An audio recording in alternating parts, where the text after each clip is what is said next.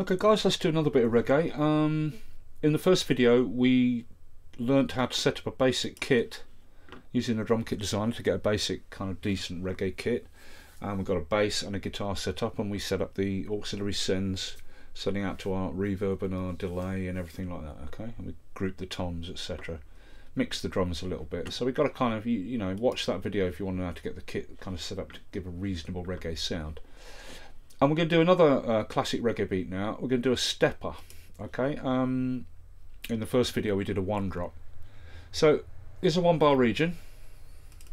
And I've got the tempo brought down to 68 now okay? Now a stepper beat is unique because the kick just pounds away holding down an eighth like that. Okay and no other reggae beat does that. And that's why it's called a stepper.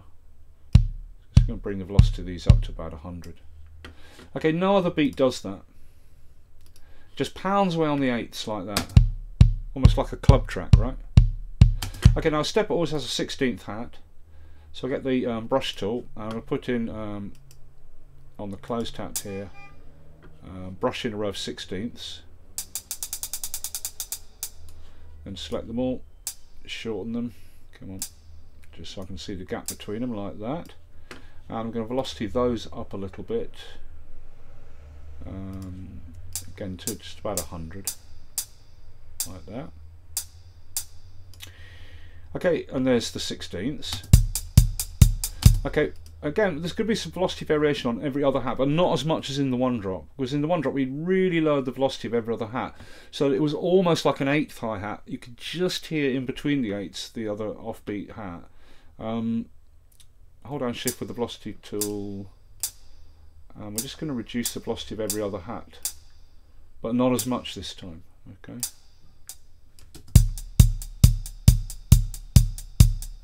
Okay, and there's your stepper with the hi-hat. Okay, now the side stick falls on the drop, on the 2 and the 4, just like the 1 drop.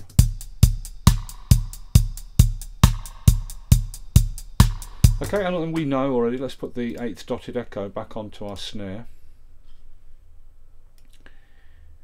Okay, we know um, the 8th dotted echo on the side stick. The first repeat will come just here, where the playhead is at the moment, right?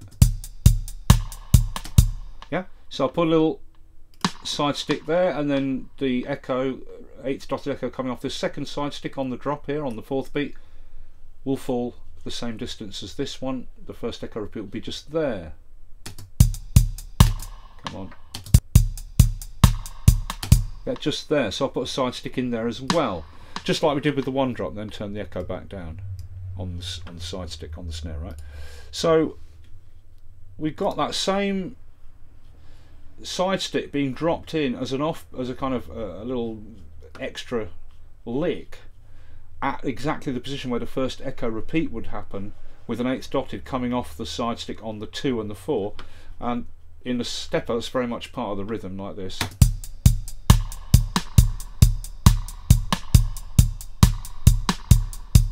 Okay then what we'll do is we'll double that over that pattern okay and then in the second part we'll add some other um, side sticks. Now the drummer will put in I'll just show you some basic ones. The drummer will put in a double sometimes like that. And then let's change the grid to 30 seconds. At the moment the grid is in 16th the default. So we got to the uh, transport bar here to the display the beats and bars display change it to custom and then here below the time signature 44 we can change the grid from its default of 16ths I'll change it to 30 seconds. Now another thing the drum will do is they'll put a, an, a little offbeat side stick one 30 second forward of the last uh, well of an 8 it doesn't have to be here but I'll put it there. Like that. You get another little offbeat side stick just a 30 second forward of an eighth like that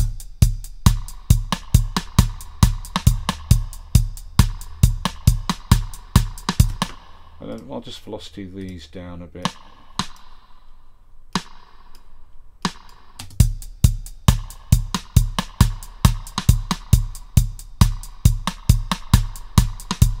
like that.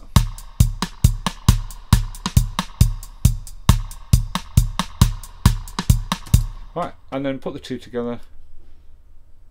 And let's just lower the amount of reverb on that snare a little bit, like that. Put them both together and there's a stepper.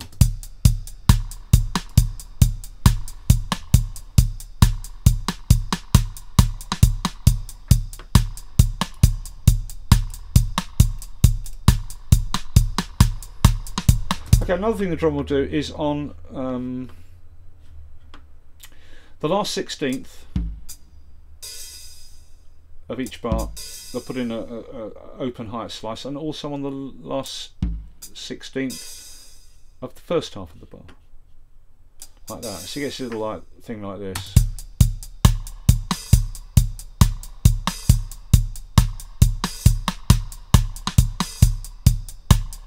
Okay, but another thing the drum will do is on that position, the last 16th of the first half of the bar, also another thing they'll do is they'll put in a double 30 second there, like that, like a little, like, yeah, like that. Okay, so what I'll do is just velocity up the first one, and drop that one a smidge so it's like yeah like that. So let's do the same thing here with this couple of little 30 seconds there instead of the slice. And uh, let's that up. That one down a bit. So it goes like that.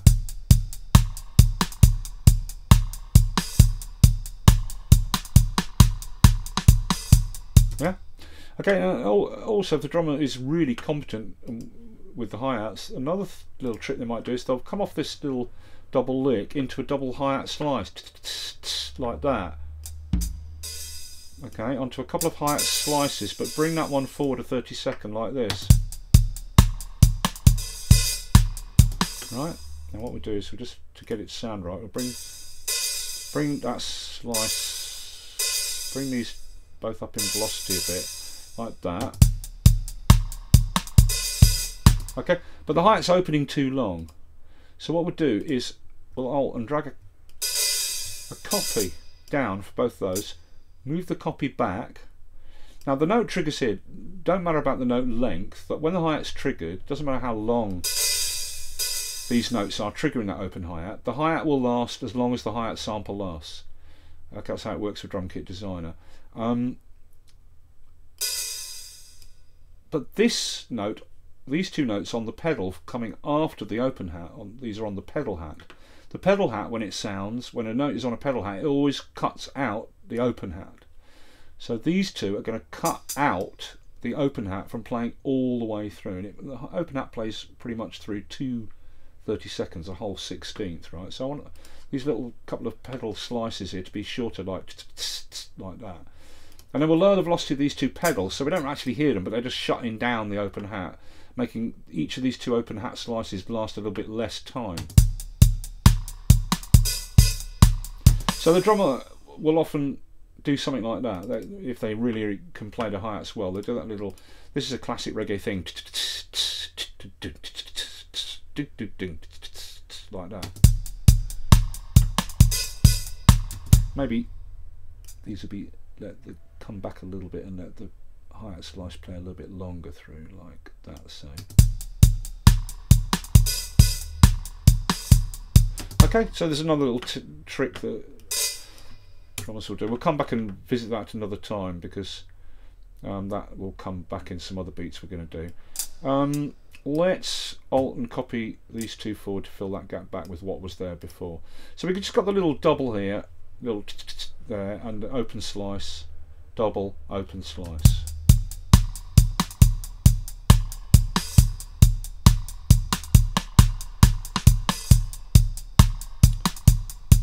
Okay, and that's a stepper. Okay, but I'll just lower these two offbeats down a little bit in velocity. So not quite as loud as the ones on the uh, main beat there. Okay. Right, so there's your stepper beat basic.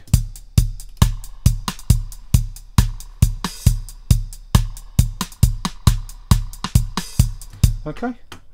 Um, and one thing to note with the stepper beat, if you go to the snare, here's its channel, track selected, so its channels here on the left of the inspector column. Bring up the eighth dotted echo, and as long as the um, echo uh, feedback isn't too long, so it keeps going too much, you know, feedback, repeating again and again. A little bit of dotted eighth on the side stick all the time, and you get this nice rolling effect coming off with the stepper.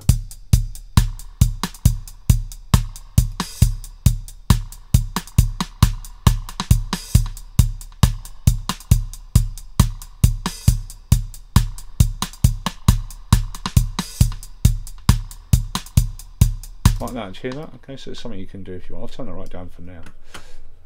Okay, let's get to the bass line. Bass line for a stepper. Well, the classic stepper bass line is you come in, and we're going to start, let's start on an A. You come in, pounding away, and let's put the grid back to sixteenths. You come in pounding away with eighths three or four eights to, to match the kick drum.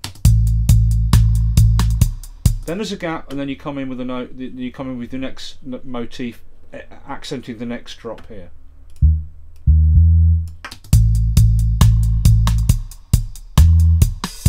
Right, and then I'll, there'll be a little, some sort of little trill here.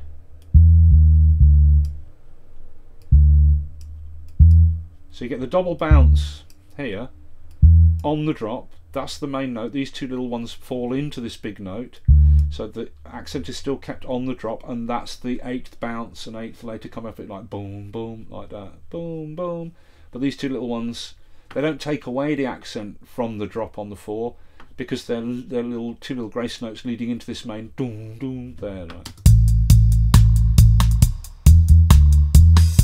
like that. And that is a classic stepper bass line like that. Okay, let's just cycle around just that. Coming in with that pounding eighths on the bass to match the kick. But it can be three eighths like that. And then you just get a bigger gap before the, the motif, second motif comes in.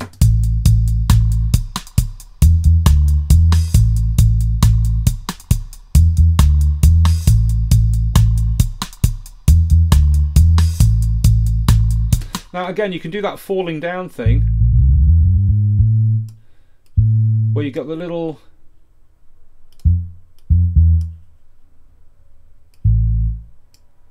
you got the little climbing down thing like that.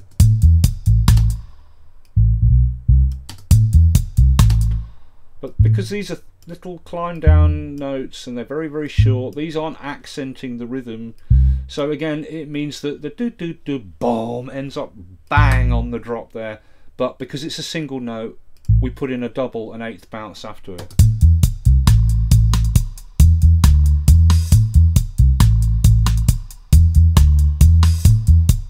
But this could climb up the other way. Boom, boom, boom, boom, boom. Boom, boom, boom, boom, boom, boom, boom, boom, boom. Like that. Whatever, okay. So um, you can you can do that kind of motif as well. Okay, but I'm just going to go with the classic eighths, hammering away like that. I'm going to do with three. I'll go with three of them.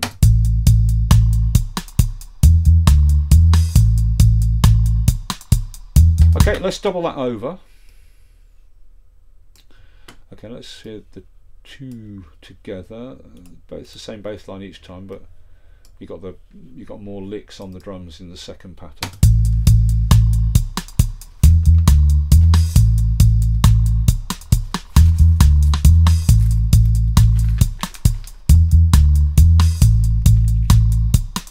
Now what I might do is actually, instead of going up, I might come down with the with the lick. So doom doom doom doom doom doom doom. Like that.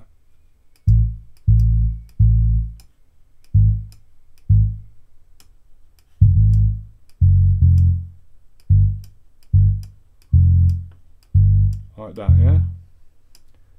That down to an E.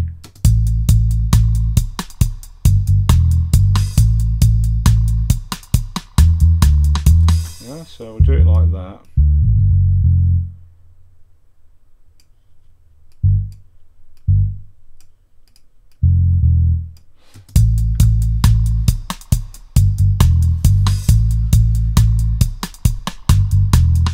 okay and um, and then what I'll do is let's copy the whole lot over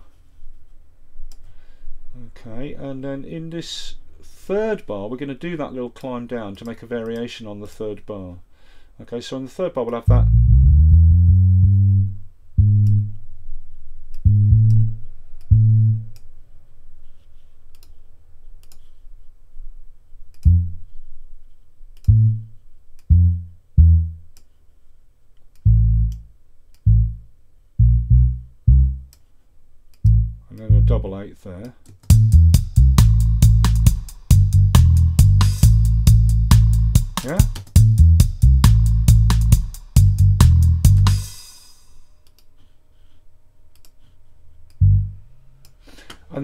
It by going up to the octave.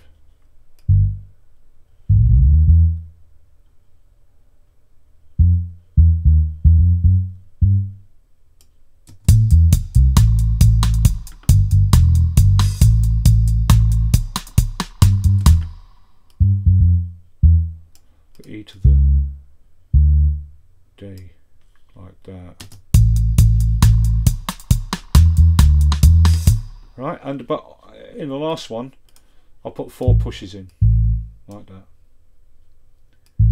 Okay, so this is the whole bass line now.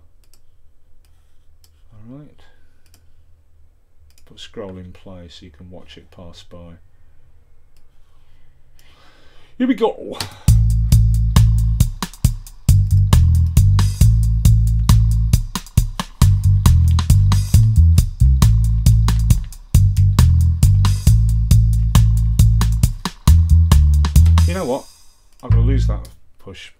Let's just have three in the last bit. Here we go.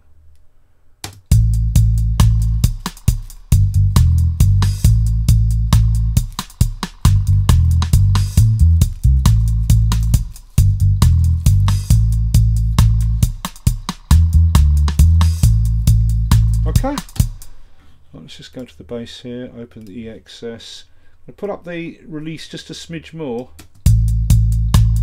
So the note the notes release a little bit, a little bit more release, a little bit more, and um, take this glide down put it back to poly rather than legato.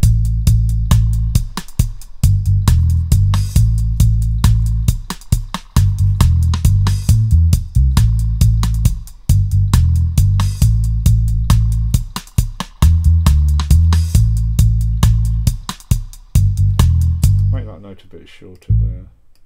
It's taking because it's longer than the note on the drop.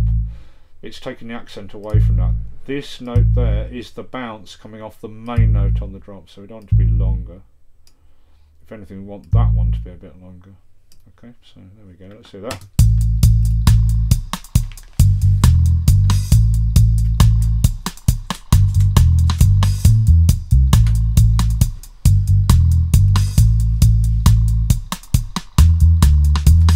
Okay, let's get some chaps in now. We've already set the guitar up. Okay, no echo on it, a little bit of reverb.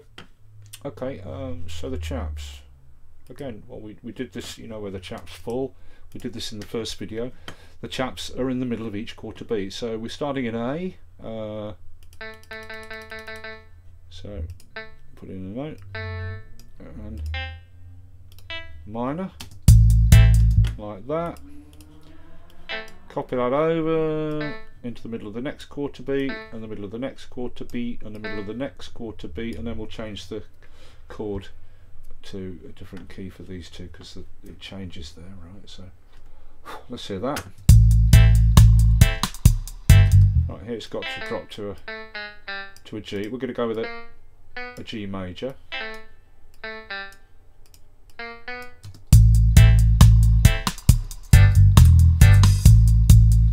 that, okay? And then we'll just velocity these up a smidge so the, the guitar is a little bit harder in its attack. Because with these instrument electric guitars you tend to find that if you put the velocity up um, you know the higher the velocity is the more attack you get to the notes. So I'll put it like 105 then we'll just shorten them all to make them really sort of staccato maybe a bit longer.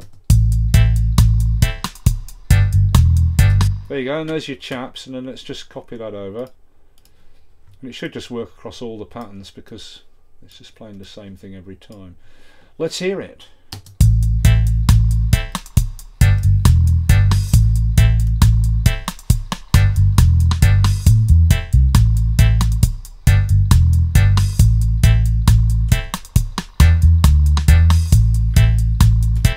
Do, pig. That'll do. And again with the guitar, because you put a little bit of echo, eighth dotted echo, and you get a nice rolling effect off the guitar if you don't overdo it. And as long as the echo hasn't got too much feedback, so it's not repeating too much, you know.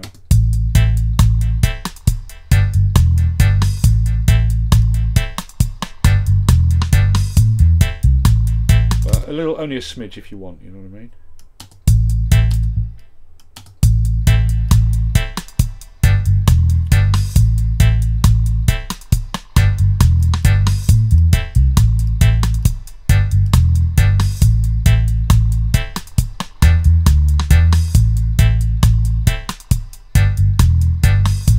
Lovely way you get the double hats going like that, like that, and the that little offbeat on on the um, on the side stick, and it makes that lovely rolling kind of vibe to it.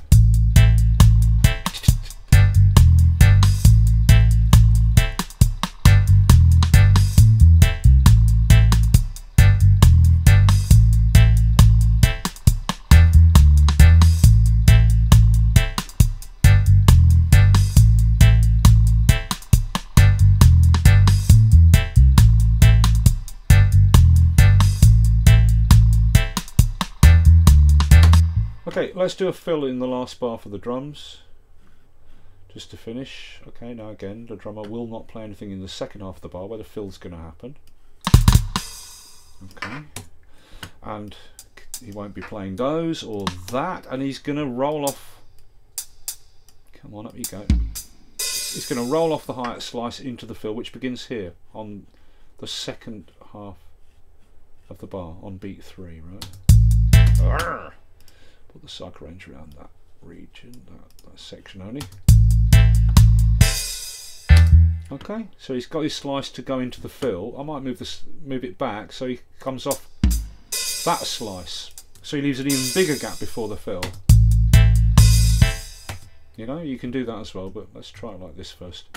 Okay, so we're going to go into um, just a simple, um, remember, as I said before, you've got three snares when you're programming drum kit designer from MIDI notes, you've got the side stick,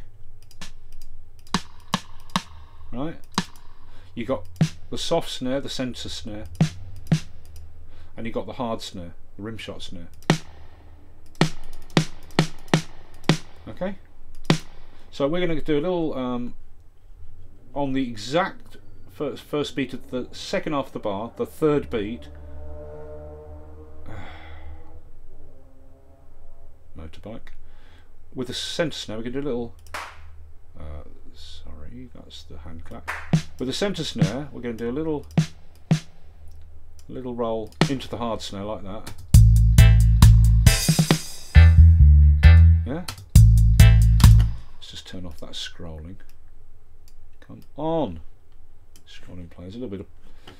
Yeah, it's a bit sticky because the video capture. And we're going to come off that fill onto a high tom. Like diddly dum. Little gap and then a couple of mid toms.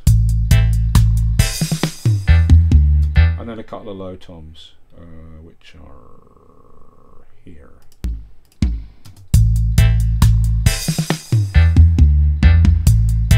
And you know, the drummer can hold down eighths over that section if you want.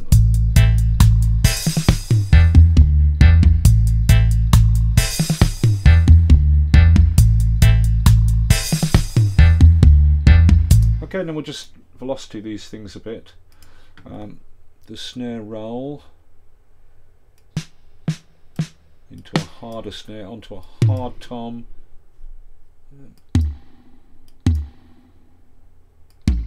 Like that let's save that.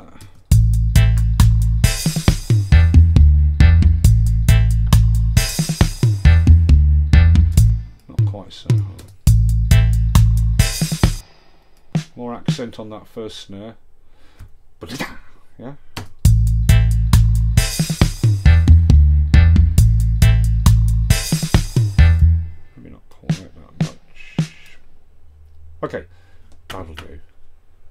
Should I bring up the bass to an octave at the end there? It's high already, isn't it? There, that'll do.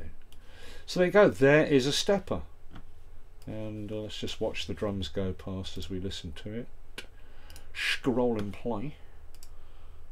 Here we go.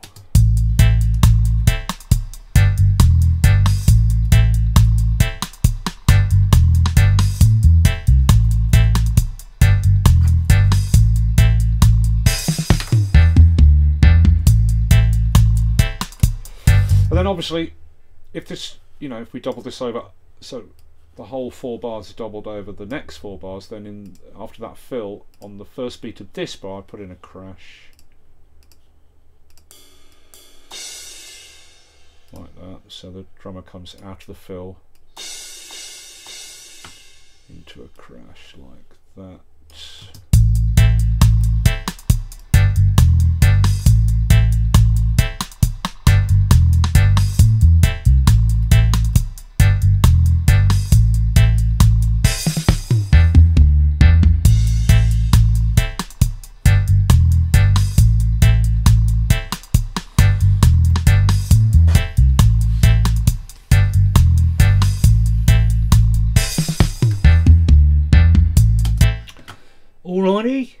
A stepper.